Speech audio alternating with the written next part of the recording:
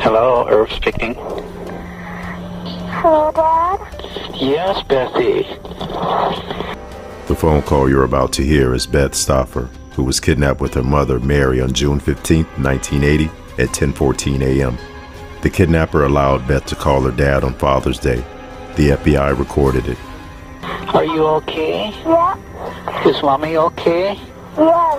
That's good. Oh, I'm. Daddy? Yes. Happy Father's Day. Oh, thank you so much, sweetie. You're fine, Dad. Oh, I'm so glad. We can't talk anymore.